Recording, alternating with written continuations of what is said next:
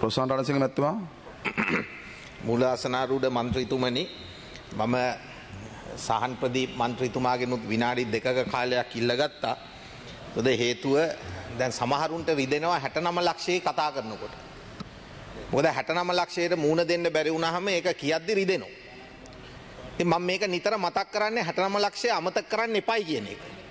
හේතුව අපි කිව්වේ වංචාව දූෂණය සැමට සමාන එක නීතියක් එවගේම තමයි සියලුම මේ රටේ සම්පත් විදේශීකරණයක් කරන්නේ නැතුව යන්න ඕන ප්‍රතිපත්තියක් පිළිබඳව.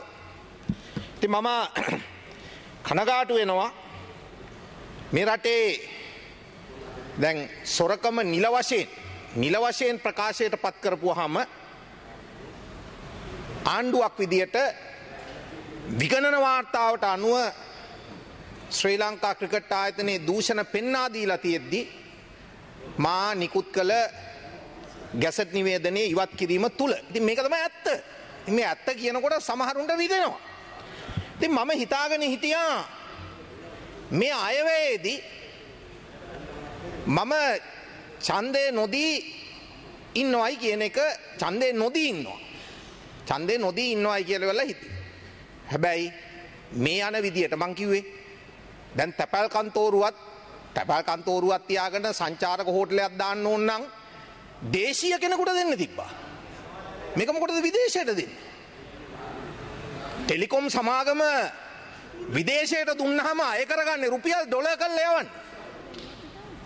දැන් ඒතකොට තියෙන රටේ ඩොලර් ටිකක් යනවානේ. ලංකා හොස්පිටල් එක මිලියන 4000ක් ලබ ලාභ ලබනවා නම් ඒකත් විදේශයට විකුණන්න යනවා නම් ඒකෙනුත් ලෙඩ්ඩුන්ගෙන් එන සල්ලි ටික යවන්න තව ඩොලර් එපයි. මේ උගුලෙන් උගුලට ප්‍රශ්නයෙන් ප්‍රශ්නයට පැටලන එක නෙමෙයිද කියන එක තමයි විශේෂයෙන් මට මෙතෙන්දි කියන්න තියෙන්නේ. ඒ නිසා මම අද අයවැයේදී මේ මේ අවසාන අයවැය මේ අයවැය අවසාන අයවැය මේ අයවැයේදී විරුද්ධව මගේ ඡන්දය ප්‍රකාශ කරනවායි කියන එක විශේෂයෙන් මම සිහිපත් කරනවා. කාලය අවසානය කරමු. ඔව් මට තප්පර ගානක් දෙන්න. ඒ වගේම තමයි අපි බලාපොරොත්තුනේ මේක නෙමෙයි. අපි බලාපොරොත්තුනේ එක්කෙනෙක්ගේ දෙන්නෙක්ගේ කීමට අහුම්කම් දීගෙන හැම එකටම එහෙයි කියලා අත උස්සන එක නෙමෙයි. ඒක නිසා ඒ ක්‍රමය මේ රටේ අවුරුදු මේ දැන් අතුගා දැමිය යුතුයි රට වෙනුවෙන් කියන එක තමයි විශේෂයෙන් මම මෙතනදි සිහිපත් කරන්නේ. බොහොම ස්තුතියි කතා කිරීමේ අයිතියක්. දැන් ජීවත්වීමේ අයිතියත් මට ප්‍රශ්නාර්ථයක තියෙන තප්පරයක් දෙන්න. ජීවත්වීමේ අයිතියත් ප්‍රශ්නයක තියලා තියෙද්දි 69 ලක්ෂයක් ආණ්ඩුවට පත් කරලා එව්වේ එව්වේ කතා කරන්න හරි දේ කරන්න. හැබැයි ඒ අයිතියත් නැති කරලා තියෙනවා ඒ පිළිබඳව මම පිළිකුල් කරනවා. හරි. මේ විදිහට කඩේ යන අය ගැන.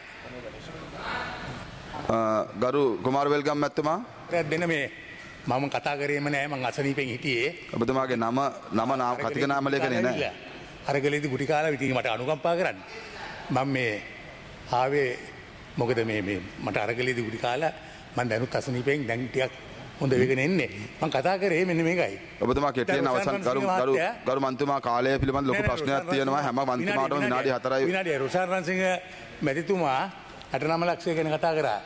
මං ඕක ඡන්දෙන් ඉස්සෙල්ලා කිව්වා ඔය මිනිහට ගේන්න එපා කියලා. නමුත් බොහොම ස්තුතියි ගරු මන්තුමා. ගරු මනෝ ගණේශන් මැතිතුමා. ඉතින් නමුත් එදා එතන ඔබතුමාට විනාඩි රොෂාන් රණසිංහ විනාඩි 6ක කාලයක් තියෙනවා. රොෂාන් රණසිංහ සහෝදරයා ඊට පැමැත්තුමා මේ කිව්ව මේ මේ අවසන් අයවැය කියලා. ජනාධිපති වික්‍රමසිංහ මහත්මයාගේ අවසන් අයවැයද මට දන්නේ නැහැ. ඒකද කිව්වේ කියලා දන්නේ නැහැ. රයිට්. හරි කමන්නේ. දැන් අනිත් එක ලට 69 ලක්ෂ ගැන කතා කරා.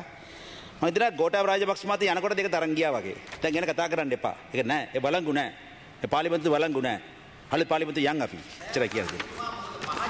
රයිට් රයිට් රයිට් රයිට් අපි අපි අපි පිට කතා කරමු. ප්‍රශ්න අපි දැන් යාළුවනේ. ප්‍රශ්නයක් නැහැ. දැන් මම කතා කරන්න ආවේ මේ සභාපතිතුමනි මේ මේ